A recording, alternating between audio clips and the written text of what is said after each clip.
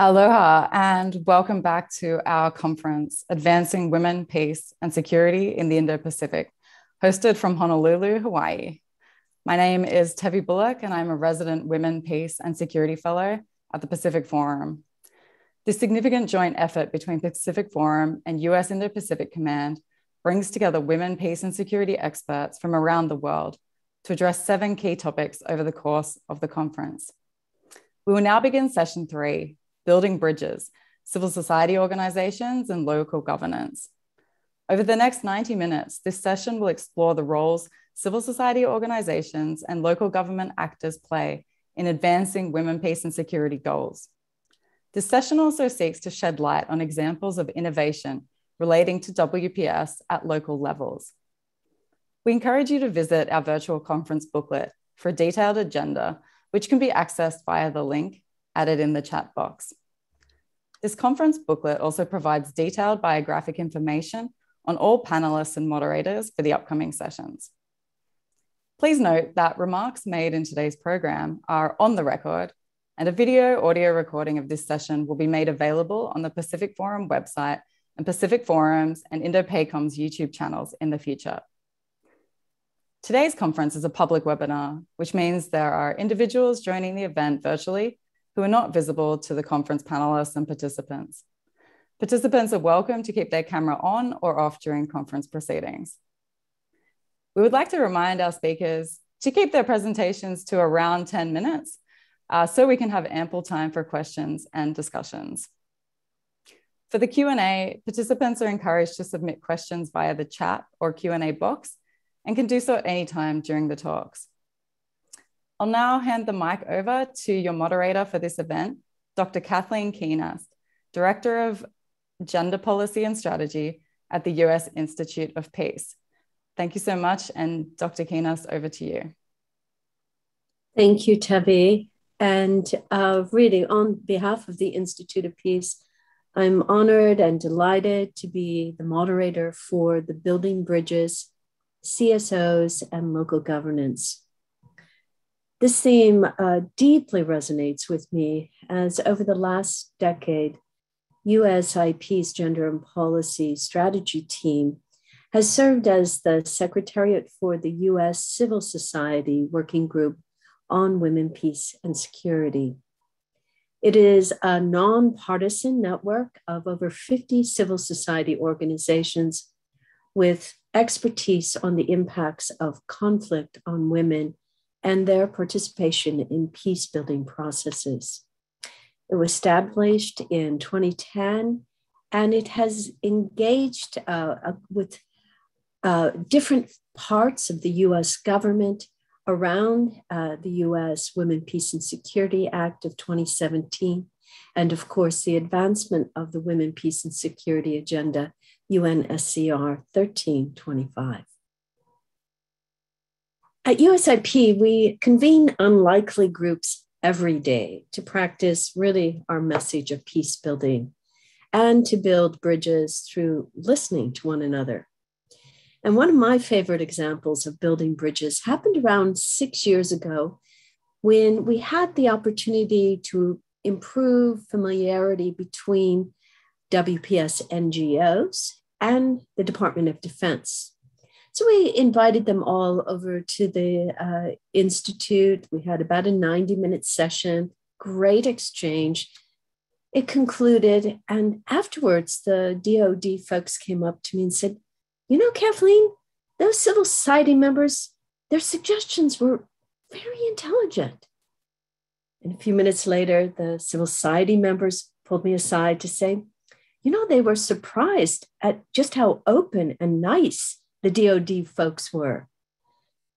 And you know what? I looked around, I thought, this is what peace building really looks like, whether you're in Washington or anywhere, or here in this fabulous opportunity with the Pacific Forum to build bridges, to listen to one another, and to help understand how we analyze the problem of conflict and how we integrate gender and certainly the women, peace, and security agenda into it. So I'm really looking forward to our speakers today.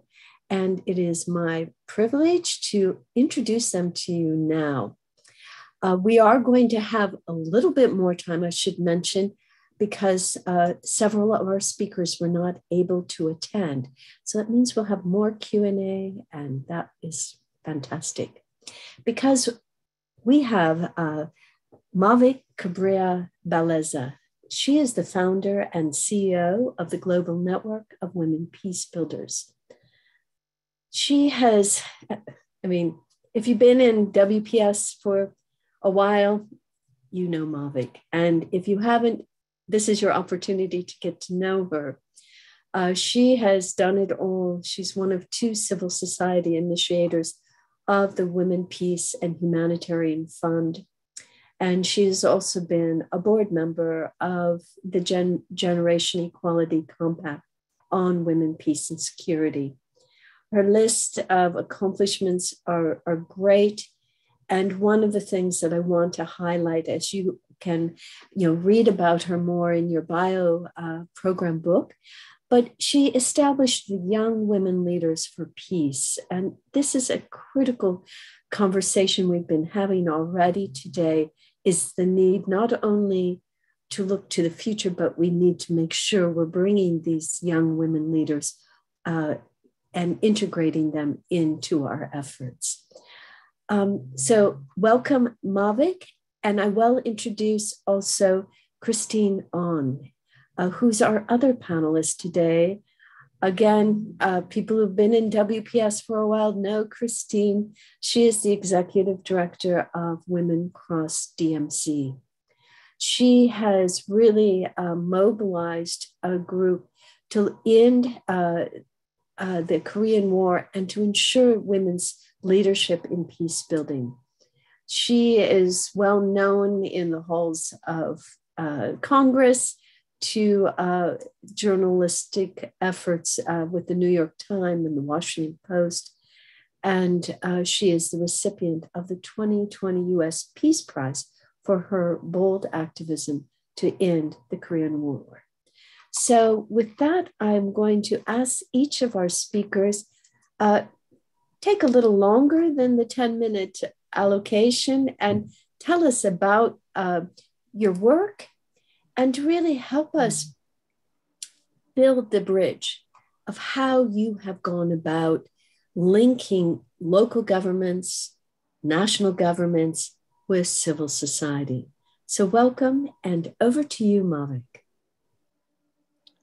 Thank you so much, Kathleen. And um, one of the gifts of uh, participating in workshops or conferences like this is seeing old friends. And yeah i'm so happy to see kathleen and christine here and uh, meeting new ones. So yeah thanks to the pacific forum and the us indo-pacific command office of women peace and security for organizing this important conversation I want to share brief information about our organization, the Global Network of Women Peace Builders, to provide a context for my intervention today. We are an international coalition of women's rights organizations and gender equality allies from over 50 countries, mostly affected by violent conflicts and humanitarian crisis we have members and partners in Afghanistan, Armenia, Bangladesh, Colombia, the Democratic Republic of Congo, Indonesia, Iraq, Lebanon, Myanmar, the Philippines, Serbia, South Sudan, Ukraine, and Uganda. The list is not complete yet. And these are just few of the countries we work in. And I'm mentioning them to illustrate the diverse conflict and crisis situations wherein courageous women live and face risks every single day for resolving conflict and building peace. At the Global Network of Women Peace Builders, we work with civil society, governments, the United Nations, and regional organizations such as the African Union or the Association for Southeast Asian Nations or ASEAN, and others in developing and implementing action plans on the Security Council Resolution 1325 and the supporting women, peace, and security resolutions. And more recently, we have uh, been promoting the synergy between the women, peace, and security agenda and the youth, peace, and security agenda. Kathleen mentioned uh, my work uh, with the Young Women Leaders for Peace, and I will circle back to that later, but it's uh, in, inspired by the policy framework on youth peace and security. At the Global Network of Women Peace Builders, our flagship program is the localization of Resolution 1325, which is a bottom up approach in implementation wherein we convene governors, mayors, councilors, community leaders, paramount chiefs, indigenous and traditional leaders, faith leaders, teachers, the security sector, and practically all key local actors. And central to all of them, of course, are women and youth peace builders. In uh, this convening, I would like to present a few slides. Uh, next slide, please. Um, in, in this convening, we adopt what I describe as a two-step process in discussing with these uh, key local actors the relevance of the women, peace, and security agenda in their context. Next slide, please. I think it's the fourth slide, uh, next to our fourth or fifth slide. Next one. Sorry, one, Jan, another one. Um, okay, here. So it's a two-step process uh, wherein the first step is the analysis of the conflict at the local level by discussing the root causes and the specific impact of the conflict on women and girls. So, in other words, this is gender analysis of the conflict conducted by local authorities and uh, civil society in local communities. And step two is a discussion on the relevance of the women, peace, and security resolutions to their context. What does it mean to their own reality? So, the main question that we ask here is at the end of the day, what does Resolution 1325 and the supporting women, peace, and security resolutions mean to women in a fishing village in northern Uganda or to indigenous women in Colombia? If you are not able to answer these questions with evidence of transformative change in the lives of these women who are directly affected by conflict, we are failing the promise of Resolution 1325. Now, I would like to uh, continue by describing um, the rest of the process uh, in a localization.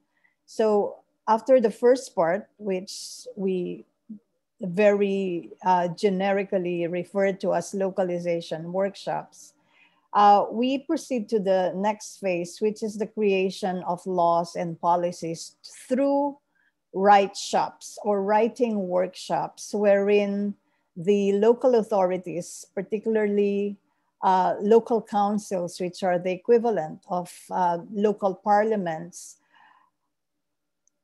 draft any or a combination of the following uh, policy documents. One is a local action plan, which is a translation of the National Action Plan on Women, Peace and Security, if the country has one.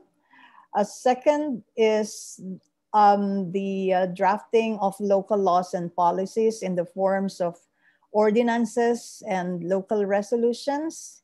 And third is the provision, drafting of provisions in existing local development plans. In countries that have decentralized uh, systems of governance, most local uh, local administrative structures have what they call as local development plans or community development plans or municipal development plan, depending on the uh, administrative structure.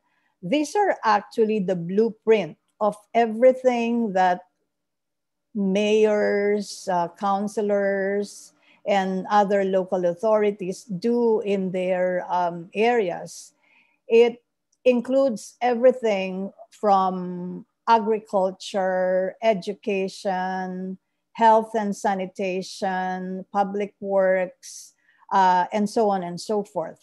But what we've realized in our work in localization is that most local development plans, even in communities or municipalities affected by violent conflicts, most of them are either gender blind or peace blind or both.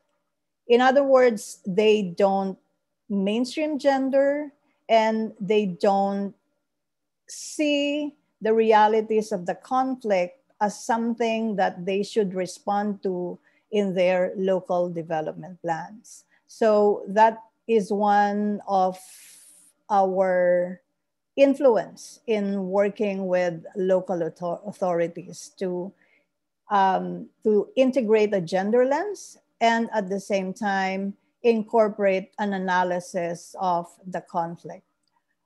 Uh, the third phase of the localization strategy is um, meant to ensure implementation and sustainability, effective implementation and sustainability.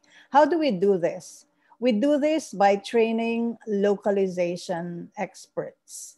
Um, for example, if we are talking about um, South Sudan, where we have also implemented localization, we've only been able to conduct a localization workshop series in two states. But South Sudan has now about 25 states.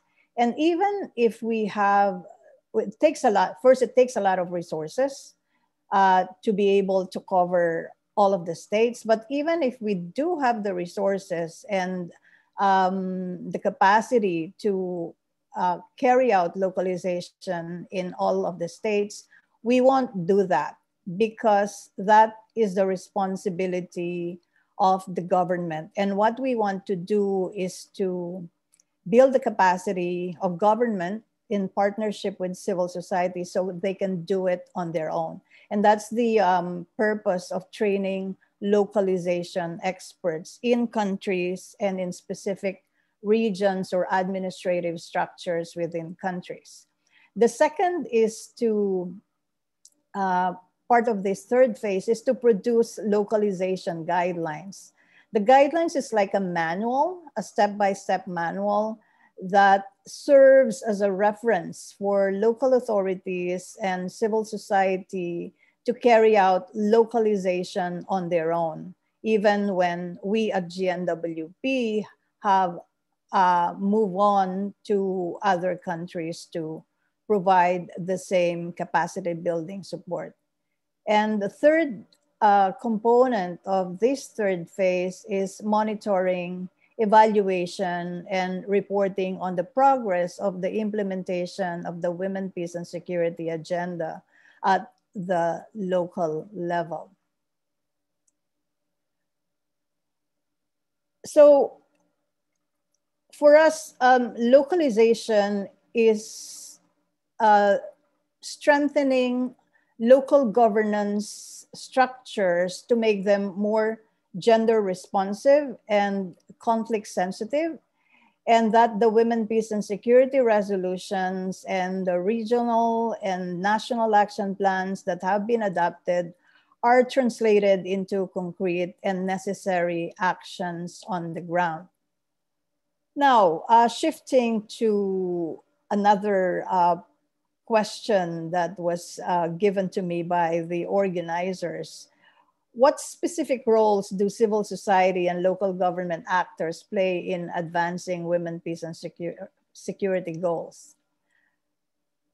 The contributions of these two sectors civil society, and local governments in advancing the women, peace, and security goals are immense. First, let's not forget that civil society advocated for and co drafted the groundbreaking Resolution 1325. There will be no Women, Peace, and Security agenda if not for the leadership and dedication of women peace activists and other civil society actors. Of course, we acknowledge and we are grateful for the support of member states like Bangladesh, Canada, and Namibia, who led the adoption of Resolution 1325 in 2000 as non permanent members of the UN Security Council. We are also grateful for the support of UNIFEM uh, during those years. The other contributions by civil society in advancing the women, peace, and security goals are one, by collecting up to date information on the situation of women and girls in communities affected by conflict. Because many civil society and women's rights organizations work and live in conflict affected communities themselves they have profound insights of the root causes of the conflicts and the necessary response. Another contribution is that they advocate for, they implement, and they monitor the imp- local action plans, national action plans, and regional action plans. And they hold governments and multilateral institutions accountable to their obligations under the Women, Peace, and Security agenda. I want to share a few country examples of civil society work in advancing the Women, Peace, and Security agenda. In South Sudan, women's groups campaigned for the 35% quota for women's participation in government. And this was adopted as one of the important provisions in the peace agreement that was signed in 2018. Moreover, South Sudanese women have very importantly de escalated tensions between South Sudan's two main tribal groups, the Dinkas and Nuer. And this has resulted in reduced conflict between their communities. In Colombia, as many of us know, Colombia is a very divided nation along ethnicity, ideologies, social and cultural identities, and other factors. However, prior to and during the peace negotiations between the Colombian government and the FARC, or the Revolutionary Armed Forces of Colombia, women civil society played instrumental roles in building coalitions, in rallying public support, in repairing community relations, and in laying the groundwork for peace building efforts before and after the peace agreement with the FARC. Now they remain very active in advocating for the implementation of the peace agreement, uh, particularly its gender provisions. It's worthy to mention that um, the Colombian peace agreement is one of the strongest in terms of uh, gender provisions. Uh, it highlights uh, the responsibility of the government to ensure justice for victims of sexual violence in conflict. it demands for um, re, uh, return of the land that was taken from uh, farmers, especially uh, rural women's rights over uh, land, their, their right to land ownership, and um, the obligation of the government to support uh, rural women. Another example is from my own country, the Philippines. Women's groups ran grassroots campaign to gather inputs for the formal peace process between the government and the Moro Islamic Liberation Front. They also relayed updates to the public, which helped to ease community mistrust of the process because there have been so many unsuccessful peace negotiations uh, prior to the one between the government and the Moro Islamic Liberation Front. So it took a lot of effort to, to build public trust. So after the comprehensive agreement on the Bangsamoro, uh, was signed in 2014 between the Moro Islamic Liberation Front and the government, women and youth peace builders in the Philippines campaigned for its ratification to turn the peace agreement into a law and ensure implementation. Now, um, another question posed to me by the organizers has to do with the barriers uh, that are distinct to civil society and local governments. So one of the pers uh, persistent barriers for civil society is the failure to adequately fina finance the women, peace, and security agenda. Data presented by the Secretary General in his 2020 report to the Security Council indicate that bilateral aid to women's organizations in fragile or conflict affected countries has stagnated at 0.2% of total bilateral aid, which is um, average of 96 million uh, per year. It's really a drop in the bucket compared to the need. Another um, major obstacle to women's civil societies um, participation, uh, full participation or meaningful participation in peace negotiations and other peace processes is the lack of protection for women peace builders who face threats and reprisals from armed groups and even government security forces. We can only think of Afghan women peace builders and youth peace builders who are among those at heightened risk at this time after the Taliban took power. But we've seen it many times before Afghanistan.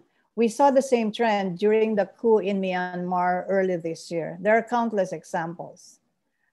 Women women's rights activists and peace builders are persecuted by implementing the Women, Peace, and Security resolutions. It must be a top priority for the international community to address this critical problem. I will stop here and I am excited to listen to Christine and participate in the discussions afterwards. Thank you so much.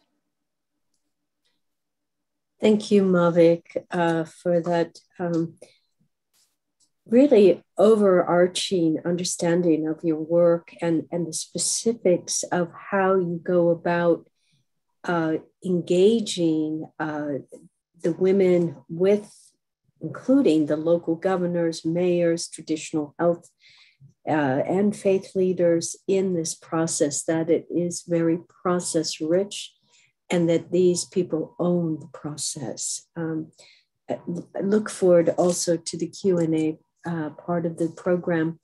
And I will now turn the floor over to Christine. Uh, we look forward to your remarks here. Thank you so much, um, Kathleen and Mavic. It's always so great to learn from you.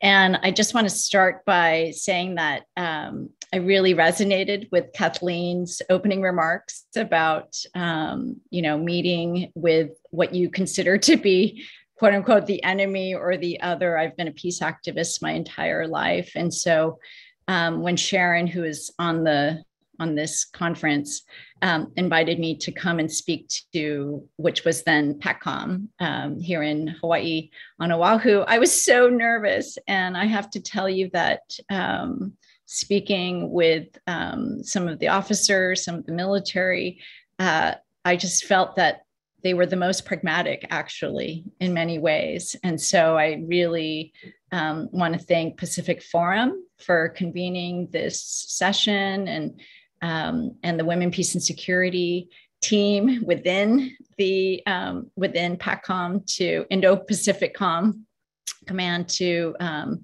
continue to engage and and learn from um, the peace makers, the women peacemakers. So, since we have a little extra time, I um, I did prepare a ten minute presentation, but since we do unfortunately um, are missing our other speakers, I thought it would be great to share a short trailer. It's a two minute trailer of a forthcoming documentary about um, our transnational feminist movement for peace. And um, which Mavic has been a part of. and so, um, if that's okay, I'm going to just quickly share it. It's um, it's called Crossings. The filmmaker is Deann Borshay Liem. She's a Emmy Award winning documentary filmmaker, and we hope to um, we hope that it'll start hitting the film festival circuit uh, sometime in the winter and in the spring. Um, of course, everything is um, up in the air because of COVID. And so hopefully we will get out of this pandemic sometime soon. But without further ado, um, this is the forthcoming documentary called Crossing. So um, let's see. Let me first get to the trailer. Okay. And I think this is it. Okay. Here we go.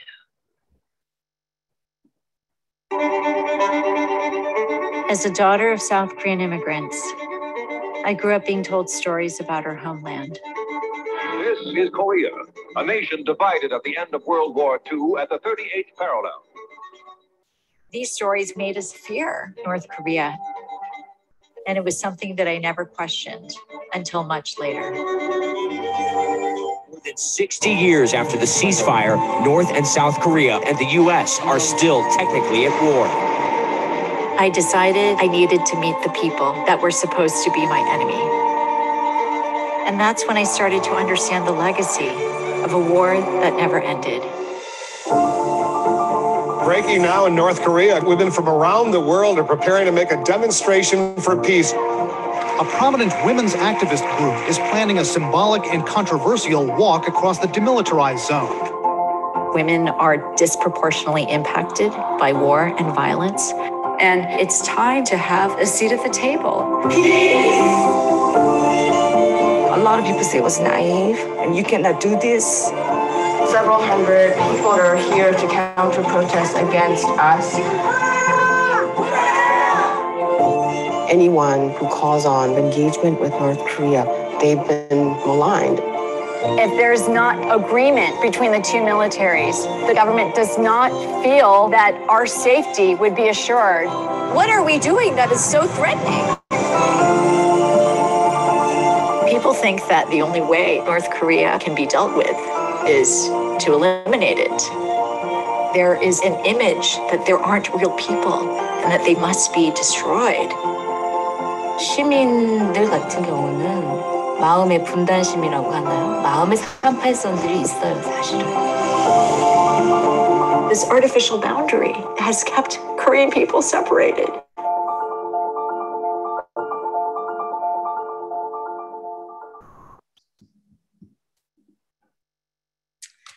Thank you for allowing me to show that really um, briefly. And now I'm going to start my presentation. Um, okay, and here we go. Everybody can see that just fine. And um, so I guess my job is to kind of breathe life a little bit to the women, peace, and security agenda.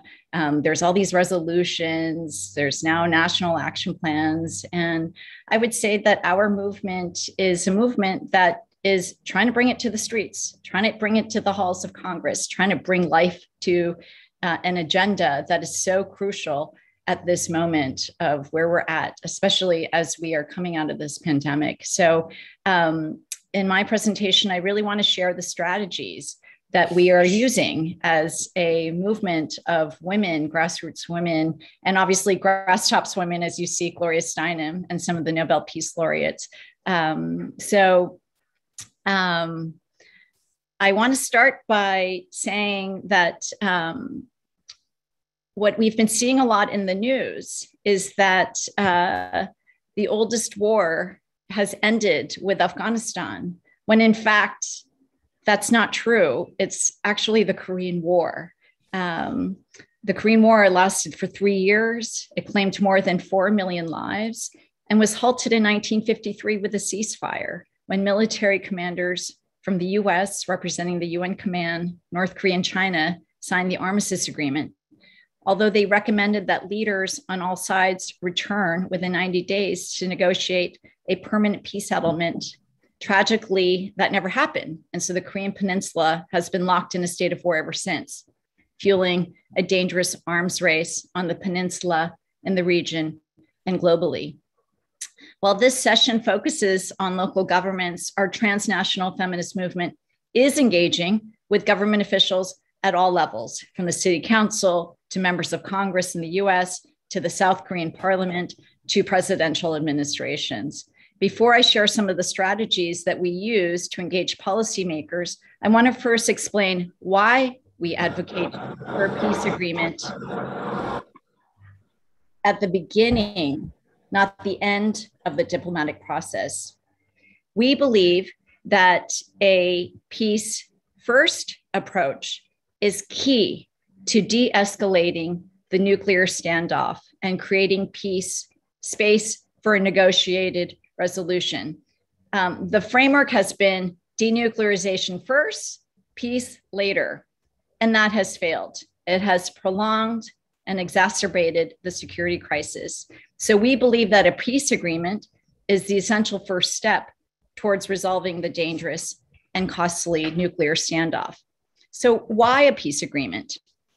Failing to officially end the Korean War has fueled a low trust, low communication environment in which renewed conflict, whether through intentional or accidental escalation, could break out at any time.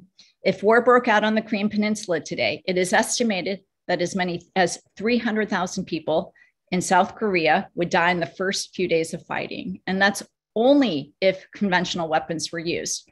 Up to 25 million people would perish if nuclear weapons were used by either side. So, a peace agreement would take the threat of using force off the table. It would also include disarmament provisions, such as verifiably freezing North Korea's nuclear programs, with corresponding measures. So consider that successive U administrations across partisan lines have, for more than a quarter century, failed to stop the development of North Korea's nuclear program. Today, North Korea is believed to possess up to 60 nuclear warheads, and its long range missiles may have the capability to strike anywhere on the US mainland. There's no military option with North Korea. Peace is a crucial foundation on which the US can make progress on longstanding concerns such as denuclearization and improved human rights. And I this um, slide here is of Thomas Quintana, who is the UN Special Rapporteur on North Korea human rights. And, you know, he makes the link between the importance of peace to advance denuclearization. Another such um, advocate for a peace agreement and peace is Jimmy Carter, President Carter. He says the only way to ensure true security for both American and Korean people is through a peace agreement. And so, to understand why peace first approach is the most effective strategy for resolving the nuclear crisis, um, the, the campaign Korea Peace Now released the report Path to Peace. The report also calls for the inclusion of women's groups and civil society in the peace process. And that's because uh, research shows that when women are involved in peace processes, an agreement is more likely to be reached and to last. Um, between 1991 and 2017, women's groups were involved in 71% of informal peace processes. This is a study from Georgetown University, and women's participation helps to legitimize the formal peace process among the public. I think this is a really important point of the role of women's groups in civil society. Um, and that's exactly what we're doing. Joe Cirincione, who is a nuclear expert and the former president of the Plowshares Fund, said, through the dedicated, effective work of Women Cross DMZ, the issue of a peace agreement between North Korea and the United States has moved from the back burner of policy debate to the front of mind. They have convincingly demonstrated that we cannot end North Korea's nuclear program without a comprehensive peace. So let's talk about strategy.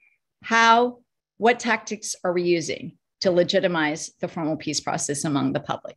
Well, number one, we engage senior officials. We believe it's important to speak with all sides. During the Trump administration, we, get, we engaged Matthew Pottinger. You see him on the far left he should be in the far right actually. Um, but anyway he was at the national security council um, and stephen biegun who was the deputy secretary of state in the state department. And um, since the biden administration we've engaged with the state department on a host of issues such as the us rok military exercises and the us ban on americans traveling to north korea which unfortunately the Biden administration just announced today that it would be renewing. So we've engaged the Blue House, uh, that South Korean um, senior um, advisor on North Korea to President Moon is Moon Chung-in, and we've engaged with uh, the North Korean um, National Peace Committee. So on the far right is a picture of of me traveling to Cambodia because of the US travel ban to meet with the National Peace Committee that was uh, in December of 2019. We work with members of Congress on legislation to end the Korean War. In the last Congress, we helped to mobilize 52 co sponsors, including a Republican, of House Resolution 152 calling for an end to the Korean War and a peace agreement. And because of this incredible grassroots organizing. Um, in this new Congress, Brad Sherman, who is considered a national security Democrat, um, introduced a new resolution called 3446 Peace on the Korean Peninsula Act. It calls for a formal end to the Korean War and the establishment of liaison offices. We do this by mobilizing grassroots communities to take action. Um, our broad and diverse movement includes multi generational Korean Americans, veterans, students, housewives, small business owners, all working together to raise, to call for an end to the Korean War. In July, during our National Advocacy Week, over 200 of, of our grassroots members from across 33 states met with 87 representatives to urge them to support this new House resolution calling for the end of the war, and also for resolutions calling for reunion of, of divided families. Um, this is a screenshot of one of our virtual advocacy meetings with Senator Hirono's office. And um, actually, I just want to point out on the bottom right is a fellow. She was one of our feminist peace fellows, Carol Lee, who's at the East West Center. And she gave such a moving testimony to Senator Hirono's staff person that uh, soon thereafter, Senator Hirono decided to um, co sponsor the Divided Families Act with the um, senator from Alaska. And so it just shows that when we actually put our minds together, put our hearts together, and we organize and we act together, we can actually move policy. So we amplify our messages to the media, to the public, we regularly publish op eds. We speak at events like this. We speak on TV, on the radio. We seize every opportunity to get our message out there that we need a peace agreement to end the Korean War. And as we've shown with our Path to Peace report, we also produce a report on the impact of sanctions on North Korea, especially on the women. We raise awareness of the ongoing human costs of the unresolved war. I think that's why the Women, Peace, and Security agenda is so important. We have to center the voices of those that are most impacted. And oftentimes, as we know, it's women and children. We also bring women peace builders together. To discuss our vision of the peace process. Um, in 2018, in the far uh, left, we have um, a photo from our delegation to Seoul. I picked this photo because there's Mavic right in the middle there, right behind me. Um, we traveled to Seoul, South Korea, because it was soon after that historic meeting of President Moon with Chairman Kim Jong Un at the at Panmunjom, where they shook hands. Um, and so we wanted to show international support for the Korea peace process. And then we had a second meeting um, at the bottom left is in Beijing, China. We brought women from um, North Korea, South Korea, China, Russia, Japan, US, Canada, and uh, and that was a historic first. And then I like this photo on the right, which is um, we were able to bring six North Korean women um, out Many of them never had traveled. It was the first time for them to have a passport. And so we met in Indonesia, where we were able to have heart to heart conversations with them. So um, let me just quick, quickly wrap up. Um, let's see. So, one thing that we're doing is we're redefining what makes us secure. And uh, I think that you know, it's so important for us as women to be redefining what that means. And I think the pandemic has created an opportunity where it's clear that all the investments in weapons and in preparation for war just simply can't protect human life. And that what we need is a fundamental reorientation of what makes us secure. What makes us secure? Healthy food, jobs, a clean and sustainable environment, homes, um, that's why Women Cross DMZ, we started an initiative with two other um, feminist organizations, Madre and Grassroots Global Justice Alliance, because we really believe it's crucial to democratize US foreign policy, to end America's forever wars and invest in genuine security at home.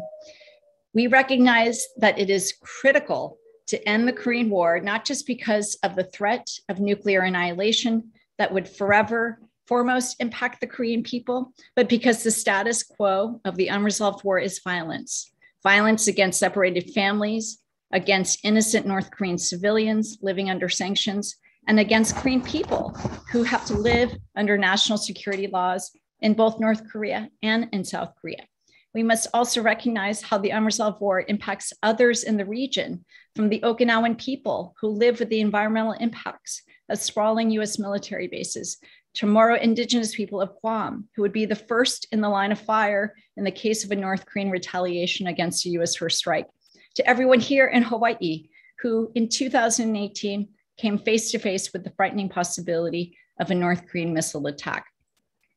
The Korean War inaugurated the military industrial complex. In three years, US defense spending quadrupled and set forth the US as the world's military police ending the longest US war won't just be symbolic in reversing America's long march of militarization, it will tangibly improve people's lives throughout the peninsula, throughout the Asia Pacific region, and I believe can help neutralize the great power competition between the US and China.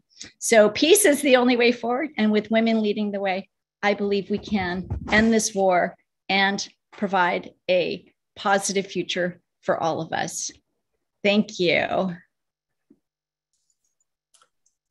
Thank you, Christine. And, uh, you know, I am so reminded of the various times we've been together over the last decade and really feel like I've been a part of your journey and I'm touched by what you have to say here today. And I'm going to actually open it up for Q&A and I'm going to begin with the first question to both of you uh, that really kind of comes back to some of the thoughts that Dr. Valerie Hudson introduced today. And Christine, I feel like this peace first approach uh, also really uh, is part of her effort that I heard her saying. But when you look at where we're at right now as a country, as a world, uh, especially around this Afghan crisis. Um, and that your last statement, you know, so much of what we're dealing with really can't be solved militarily. Um, I'm very interested in some of the lessons learned you see moving forward as we are on the global stage as a country, uh, trying to wrangle with these unbelievable new predicaments and certainly the focus of the impact of what is going on in Afghanistan on the women and girls of the country. So I'm going to begin with you, Christine, because you just presented on this. And Mavic, you have a few more minutes. And then I want to remind our audience that you can put a question or comment into the chat room, or you can just simply uh, use the uh, very uh, hand up kind of uh, process uh, and uh, I'll be looking for your questions. But in the meantime, Christine, thoughts on lessons learned from your own work and what you would like to tell the world right now, and, and certainly this audience, about lessons learned uh, from Afghanistan on your work? Well, we're coming upon the anniversary, the 20th anniversary of 9 11 and the war on terror and the axis of evil. So, Afghanistan, Iran, Iraq, North Korea, all these countries that have been swept up in um, US militarized policy and war. And I think that um, what we have learned, especially in this pandemic, as you reiterated, Kathleen, is um, that all the problems cannot be solved militarily, and that actually this is a critical moment and juncture for us to redefine what makes us secure. And so I think that as we move forward and as the United States um, shifts from becoming the world's, you know, uh, world superpower to actually trying to create a more global cooperative society where we can peacefully coexist where not one country is not dominating the entire world. I don't think americans want that. I mean i, I think we've seen plenty of surveys and polls that show that americans want uh, more diplomacy. We want more investments in um, a, a diplomatic force. We want reduction in the military spending. We want a reallocation in things like healthcare, in schools, in um, things that actually make Americans secure. So I would say there are three principles that we really need to be pushing, especially as those of us that are part of this women, peace, and security agenda. One is reparations. You know, what kinds of reparations are needed? for Afghanistan. And I think that, you know, we don't need to just necessarily pull the plug.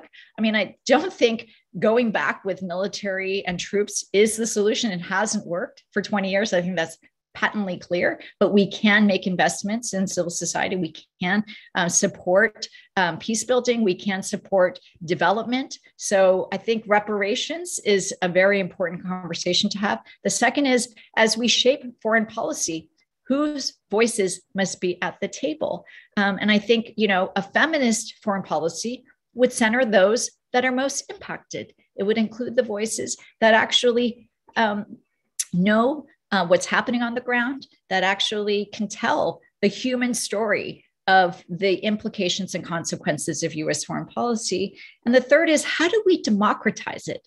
Because and how do we break down the barrier that exists between domestic and foreign policy because as it's being increasingly clear not just in terms of the pentagon budget and how that is like sucking all the money away from the things that actually make us secure. But i think that now like right now you know especially um, with trump calling the um, the COVID, like the Wuhan virus or the Kung flu, and just like the repercussions that that has had on Asian American communities, especially elderly, um, you know, because of the outrage and the anger and all this anti China hawkish rhetoric. How is that impacting, um, you know, communities here? And I know that the Muslim and the Arab communities, they have experienced it for the last 20 years.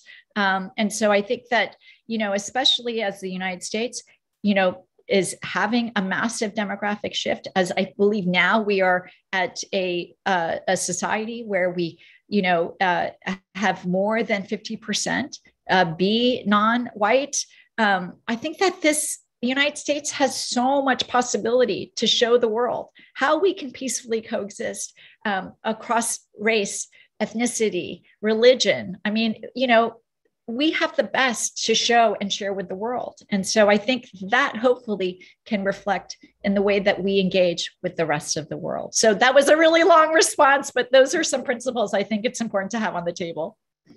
Christine, it, wasn't long. It was uh, very full and uh, vibrant. So thank you. Mavic, I'm going to turn over uh, the floor over to you. I, am very interested in how you see this moment in time uh, on the global stage with the US leaving Afghanistan, what it means, of course, for women. But what is the lesson learned and how do you see it in regards to your work of, on localization of mm. 1325? Afghanistan is a painful lesson, uh, not just for Afghan people, but for everyone in the world.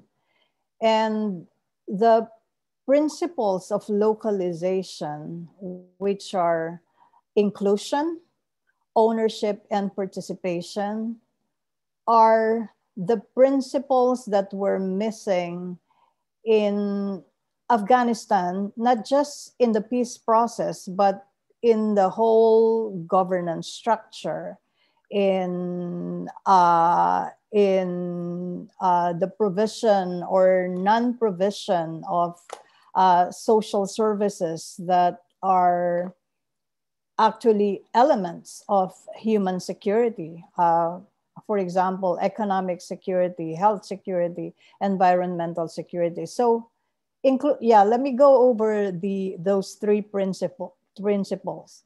Uh, inclusion or its opposite opposite exclusion. Exclusion is a form of violence. While we um, you know we we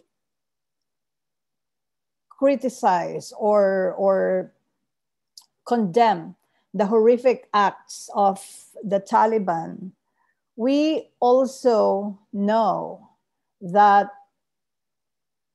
a good number of Taliban are young people from very poor communities, very poor families that have been recruited to join the Taliban because of their distrust of the government, because they never saw any hope for a better future with one corrupt administration um, you know taking over the uh, governance of the country. So that is a major failure the lack of true inclusion. The second one and the third one which are related are ownership and participation. And while i will cite the Doha uh, peace talks, uh, particularly the intra-Afghan peace talks as an example, a, a, key question that is being asked by uh, civil society, especially local civil societies, who owns this process and how are our voices uh, being heard if in this process. We know we not all of us can go to Doha or or Moscow because there was also um, um, a negotiation in Moscow, but we can still participate, and there are many ways to facilitate, you know, our participation, and there are examples. Uh, Colombia is a is a good example in terms of um, uh, ownership and participation of uh, civil society, local communities, um, indigenous communities. They, they didn't have to go to Havana to meet with the principal negotiators, but um, a process was facilitated so that they can be consulted and send their representatives to uh, to Havana to present the, their issues and concerns that must be addressed in the peace negotiation. That was absent in the intra-Afghan peace talks. And then participation. Uh, while I'm citing participation in the peace process as an example, I also want to um, broaden this as participation in decision making, in leadership, in governance broadly. We know for a fact that uh, a good number of uh, officials under the Ghani government are Afghans in the diaspora who were recruited after being away from uh, the country for 20 years, for 25 years, for 30 years, while they have, you know, some expertise and, and skills that they, you know, brought to the table and contributed to running the country, that created an, a, a great dissatisfaction among Afghans who have been there all their lives. As they, they, they uh, felt unrecognized, undervalued, and uh, did not have a say in, in governance. Um, but rather, the Ghani uh, administration, you know, uh, brought all of those people in the diaspora. And, and quoting one of our, the young Afghan women peace builders that we work with, they, they came and, and they stole from the country. And then they went back to where they are citizens or, or they where they have dual citizenship or have permanent uh, residency in.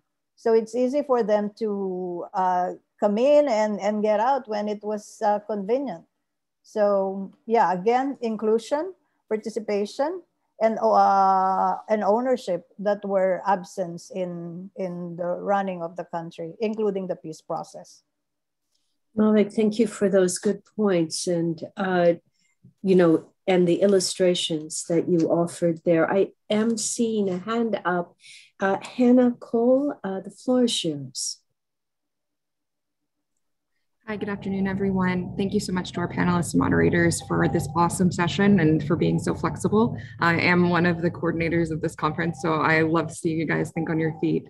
Um, my question is for Ms. Ahn, actually. Um, broadly, I was wondering if you could speak to South Korea's inclusion of WPS initiatives in peace processes with North Korea. Um, I know that the appointment of Kang Kyung-wha was kind of a big step forward for South Korea in creating a more um, gender equal cabinet, but as she stepped down, she was replaced by a male um, counterpart. And so um, as I'm doing my own research, I'm really curious about, um, you know, actions versus words of South Korea and how your own um, role in the region has interacted with, um, I guess, particularly the Moon Jae-in cabinet as it stands, because they have been, um, at least on the surface level, very interested in some sort of reconciliatory policy with North Korea. So thank you so much. And I look forward to hearing your answer. Thank you, Hannah. Christine, over to you. Okay, thanks, Kathleen. Um, it's a great question, and I wish that we saw more from the Moon Jae-in administration. Um, you know, I guess while I believe that um, Foreign Minister Kang is a great feminist, I'm not sure her um, policymaking necessarily reflected it. And so we were in a situation where um, maybe having a woman at the table didn't necessarily um, was a great advocate for ensuring more women peacemakers inclusion. Um, I would say that one thing that the Moon administration did was appoint a minister of um, gender equality. She's actually under the foreign ministry, and she actually came from the Korean Women's Association United, which is the largest umbrella organization in South Korea, representing a broad and actually politically diverse base. Um, and so she comes from the movement. So that was a great uh, that was a great, you know, a sign. And actually, part of that was because of the South Korean, the Korean Women's Movement for Peace, which is part of the Korea Peace Now campaign. And that is a coalition of four South Korean women's peace organizations. It's the YWCA, which has like, I don't know, 200,000 members. It's the oldest, uh, the Women Making Peace, that alliance that I was talking about. Um, and uh, they had engaged with um, Jackie O'Neill, who many of you may know is the first woman peace and security ambassador to Canada, and basically seeing what Canada did by appointing um, the first woman peace and security ambassador, they took that and took it to the Blue House and said, "Look, there is a ambassador in Canada that is doing this. And if you believe in this that this is this is really important to do this. Now my critique is that uh, while it's great that they appointed her um, she's not necessarily um, being an ambassador in terms of inter-korean. And i feel like um, we often like point the finger at South Korea and say, how come if your platform, Moon Jae-in, you want reunification, you want um, inter-Korean reconciliation and peace, that's where I think it gets a little tricky. And that's where I feel like it's really great to have the Pacific Forum, the Indo-Pacific Command, because um, sometimes the US and the UN Command can play an as as an impediment, as an obstacle. So you look at the historic um, uh, meetings that took place between North and South Korea in 2018 in, in Panmunjom and in Pyongyang, the joint inter-Korean military agreement that was signed. I mean, they wanted to link the trains, for example, at the DMZ, and the UN command came in really the US forces in Korea and said, wait a minute. And this was the Trump administration. I'm going to, I'm going to give the Biden administration a clean slate, but they um, said, uh, no, that would actually be in violation of, of UN Security Council sanctions. So um, this is why, you know, as much as like, I would love to just like support the South Korean women's peace movement to try to engage with the North Koreans. But when there isn't progress on peace, and that includes between the US and North Korea, there is no progress between the North and the South Korean women. It is this weird jigsaw puzzle, and it's like this Jenga puzzle, but that's why it has to be an international movement. And that's why it really has to include US women to um, support our government, now the Biden administration, to help bring closure to this war. It is a, a tricky situation, and I really would love all of your support because I do feel like the women that are especially in the military that are in these positions are pragmatic. They know that um, this has not been, you know, we look at like US troops leaving Afghanistan, but we still have 30,000 US troops in South Korea. We have the largest military base in the world and uh, and it's i don't think north korea saying that the us bases has to leave but i just think you know as americans we have to put, present the question when do we end the occupation when do we end um, our U- us military footprint on the korean peninsula I'm looking to our chat room and also to the yellow hands or whatever color hands coming up. And I uh, certainly have one with uh, Monica Herrera. Good to see you, Monica. Hi, thanks so much. And uh, thanks to, to the panelists, uh, some really great perspectives. So I do work uh, in Indo-PACOM's Office of Women, Peace and Security. Um, and I've also been uh, a member of the, the armed forces since, since I was 17 years old. So I've been in the defense sector my whole life. Uh, and I am obviously very committed to WPS and I see a role for DOD uh, in advancing these principles and in uh, but but my question for you and one of the reasons why we really wanted to have this panel was um, because uh, christine you know when you came to our course back in 2018 that was the first time i'd really had any interaction with a civil society organization and similarly i think you mentioned that um, you know you you had some you know potential anxieties about it as well but you know once you meet in person it can really um, create relationships relationships and benefits. And so my, I, I, I want to start my question with, with Mavic um, as we are looking to localize our WPS efforts. Um, what would be your recommendations or best practices for the defense sector when we're seeking to engage with civil society organizations? Um, and then kind of a, a, derivative of that question for you, Christine, um, would be kind of what do you see as DoD's role then in, in WPS? Thank you. Yeah. Um, can I respond now, uh, Kathleen? May I have the floor? Please, please take the floor, Mom. Okay, thank you. Uh, thanks so much for that question. Um, I'm sure you know that engagement, um, especially actual uh, partnership with the security sector in the advancement of the women, peace, and security agenda is still a contentious issue among uh, women's rights activists. Uh, one uh, school says, no, we're not going to engage, um, let alone uh, partner with the security sector because they are the instruments of the state to, um, you know, to militarize, uh, to use arms to oppress people, to uh, promote the business of war. The other school um, says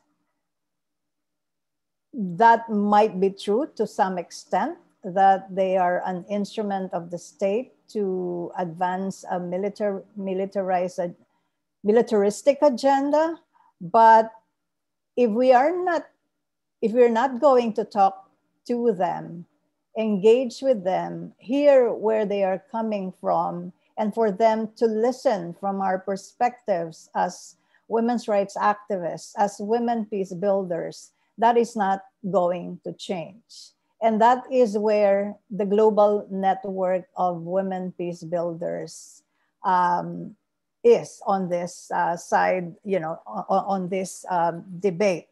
Um, as I have mentioned in my presentation, uh, in our localization um, strategy, one of the um, uh, key actors are um, uh, security uh, sectors who operate at the local level. Uh, military personnel who are um, deployed in local communities, police forces who have the same assignments. So um, I and and interestingly, we, we've had so many conversations with them, the the you know armed forces um, and police forces at the local level. And when we talk to them, they would say, uh, please talk to uh, the Ministry of um, Defense, talk to our generals and convince them of how important the women, peace, and security agenda. And that would, you know, uh, everyone would follow suit. So to us, we we use what we criticize uh, in the security sector, which is its um, hierarchical uh, character in um, engaging more and in collaborating. And I'm happy to share that we have conducted um, training um, and work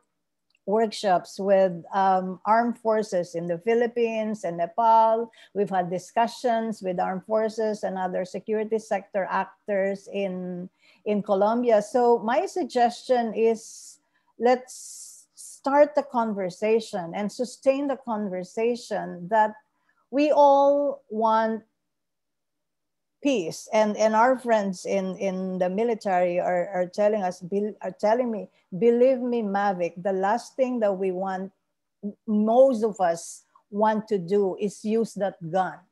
Uh, if you know if we can that would be the last resort.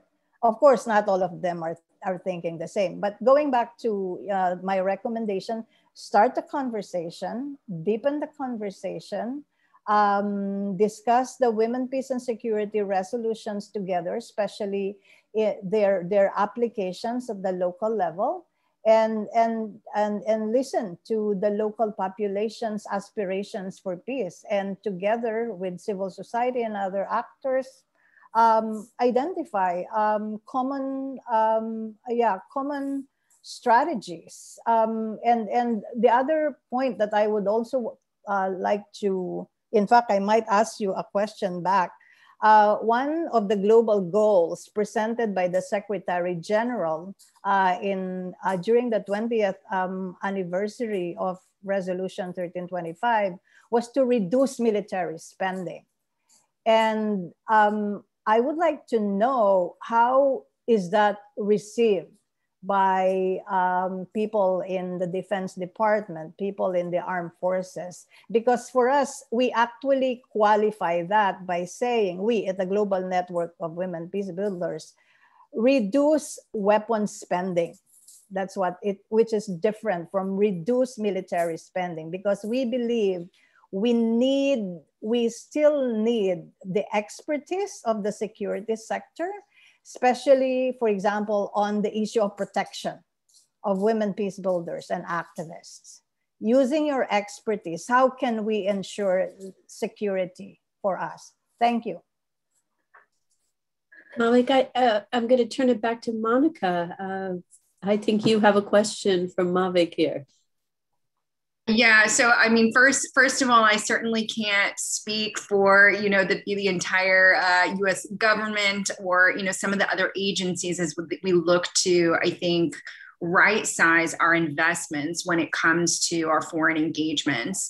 Um, but I would just agree with you, Mavic, when it comes to looking more closely at not just uh, is there funding going to the defense sector, but where within the sector is it going right? Because you've mentioned you know we we have folks doing all sorts of work in our military. We have we have a huge military um, including you know civil affairs those folks who do uh, engage with the communities to better understand the security situation uh, so that we can better inform our own strategies. We obviously have a lot of uh, trained personnel uh, for humanitarian assistance and disaster relief. And that is one of those engagements of all the military engagements um, uh, that, that we could be doing. That one is pretty much guaranteed to happen in our region, in the Indo Pacific, very highly prone to disasters.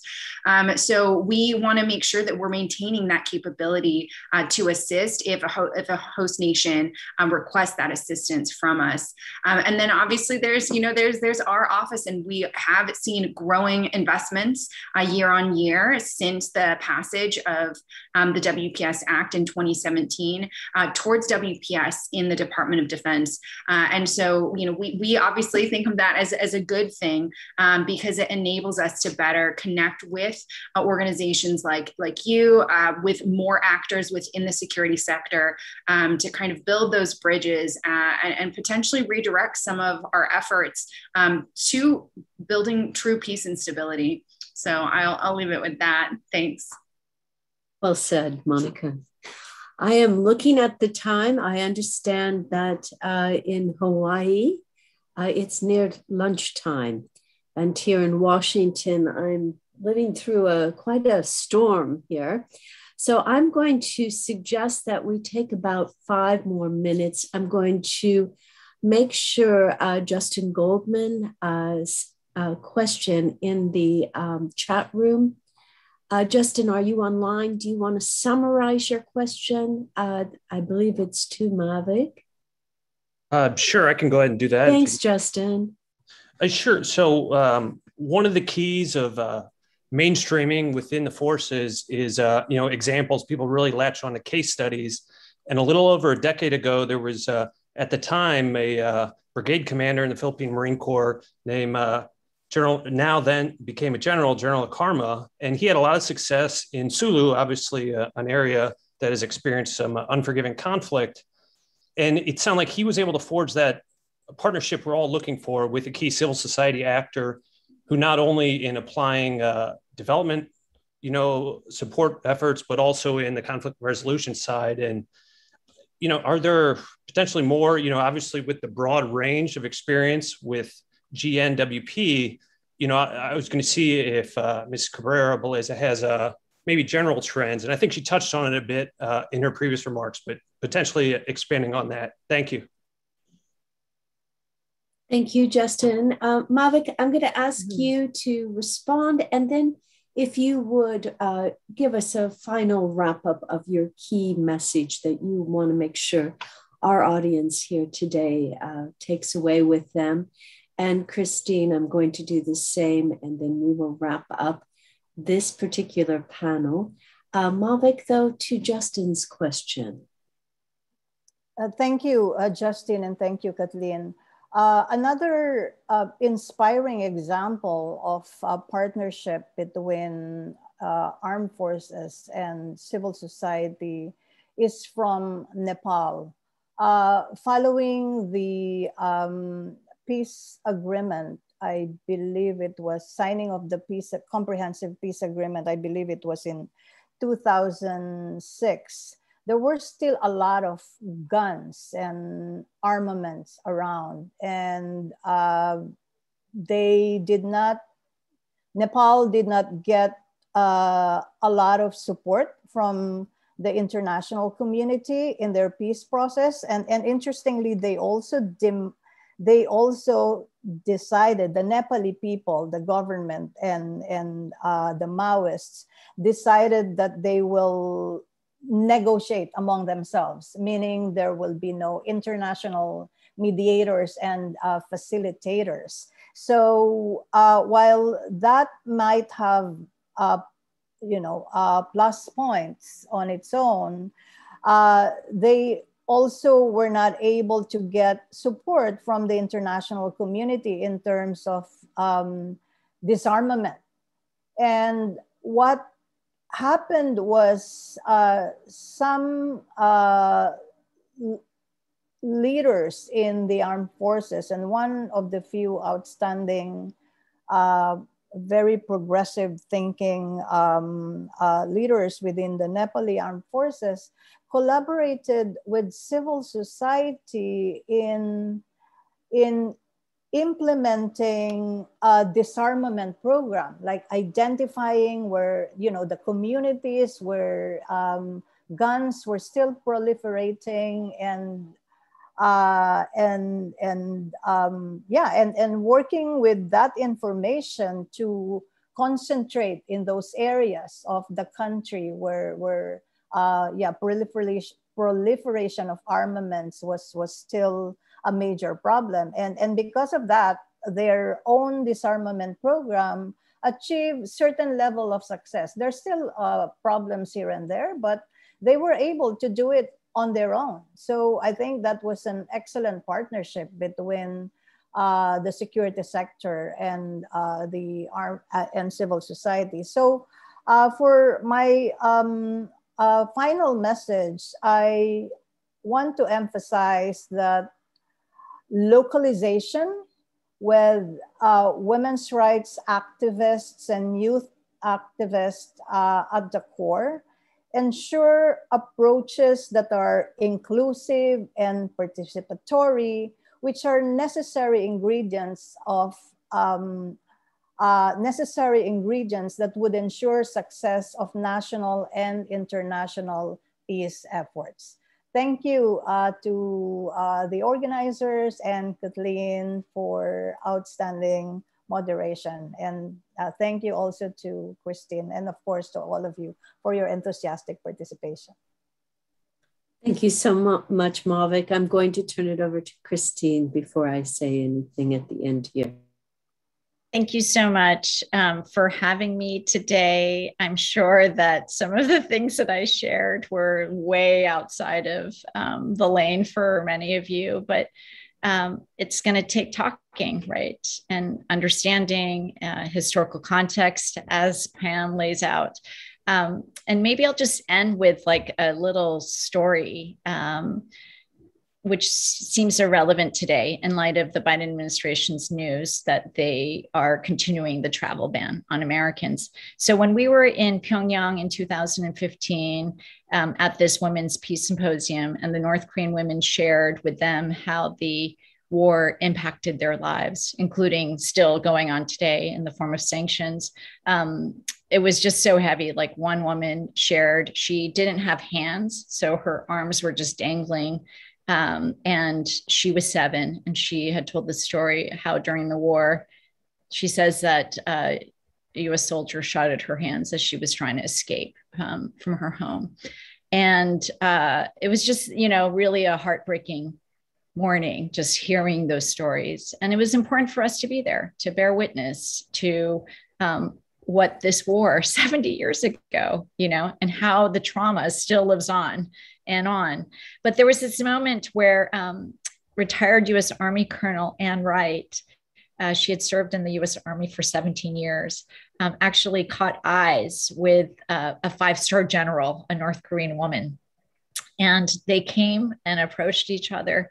And even though they couldn't speak, because Anne doesn't know Korean and she obviously didn't know English, there was this moment um, of understanding.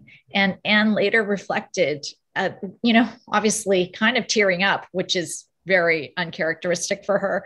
Um, but she just said, you know, when she met her face to face, and she just thought, my goodness, you know, I spent so many years like being afraid of the North Koreans coming across the DMZ. And then they were so afraid of the Americans coming and doing regime change or bombing. And, uh, and instead of preparing for war, they should have spent all those years in the military working for peace. And so I do believe, like to Monica's question, what can DOD, what can the Women, Peace, and Security Agenda do? I am really excited about engaging because I do believe we need allies across all sectors. And, you know, there are champions within the DOD. And I believe that many of you are on the call today. So I look forward to engaging with you. We need to build understanding, and we only do that through sharing and through sitting together face to face, hopefully out of the pandemic soon, but um, at least virtually like this. So thank you so much for inviting me today. Thank you to our two panelists, Mavic and Christine, for not only very concrete summary of your work, but very much tied to the urgency that we're looking at in our world today that uh, peace first is really about all of the crises that are confronting us, whether it is COVID or climate change, or the fact that these wars aren't ending and we need new strategies, and that the Women, Peace, and Security agenda though might be 20 years old, it is still very alive and an excellent agenda for building that peace. So thank you for bringing your stories of witness and effort throughout uh, your days. And I am going to thank our our organizer moderator Tevi Bullock and turn the floor over to you for wrapping up this session. Thank you all. Thank you very much, uh, Dr. Kuehnast, for moderating this excellent session. Thank you to our panelists, Mavic Cabrera Balleza and Christine Ahn, for your insightful, inspiring, and provocative remarks. Uh, and Ms. Monica Herrera from uh, US INDOPACOM for your contribution to the conversation. And thank you to our audience members for your thoughtful questions.